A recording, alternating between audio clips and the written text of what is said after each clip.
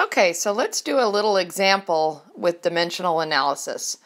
We're going to convert 365.0 picometers to feet.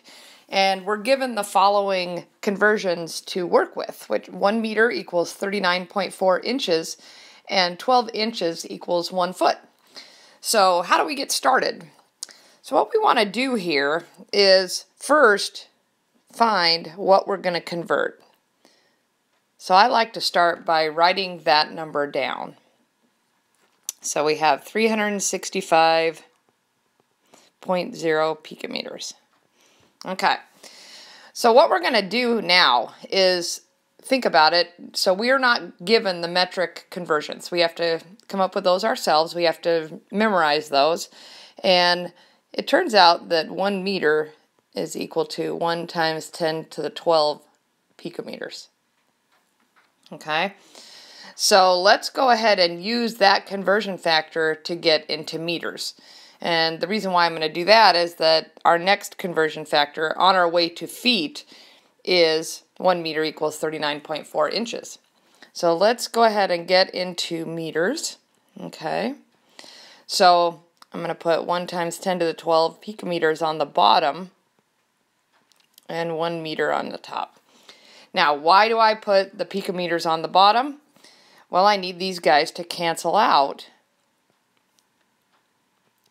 And so I'm using a conversion factor where the number of picometers here, 1 times 10 to the 12th, is equal to 1 meter. So that's the same quantity, but in different units.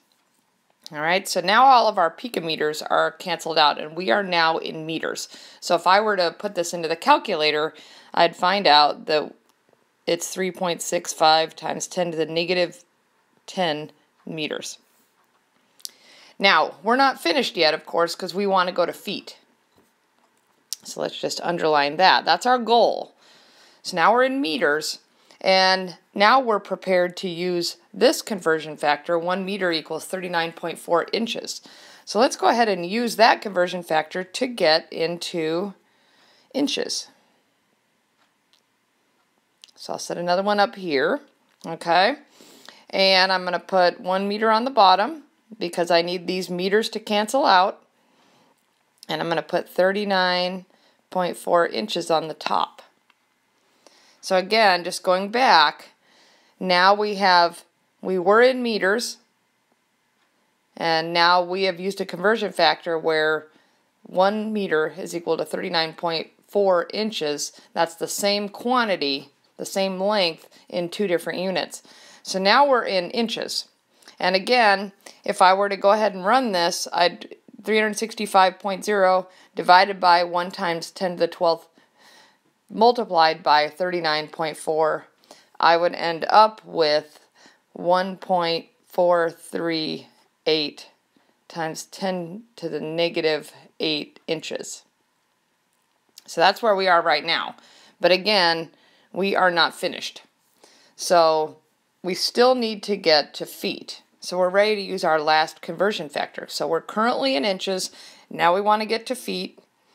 So let's do another bracket here. Okay. We're going to set up another conversion factor. Now we're going to have 12 inches being equal to one foot.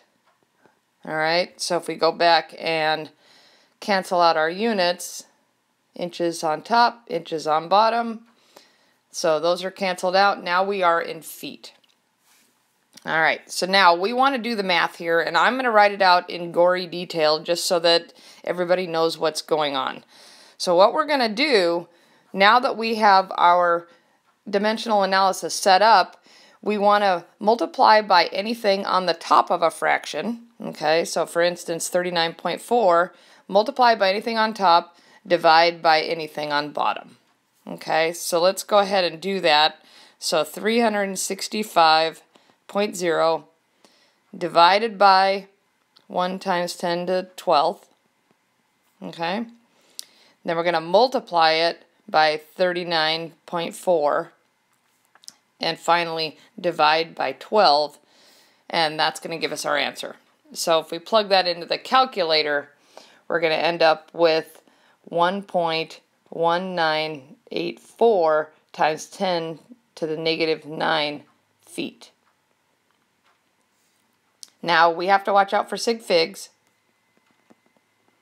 So how many do we have here? Let's go up and look at our initial quantity, what we started with, and we have 365.0. So remember, because of that decimal point, that O, that zero is significant.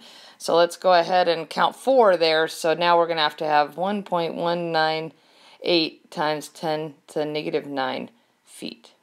And that's our final answer.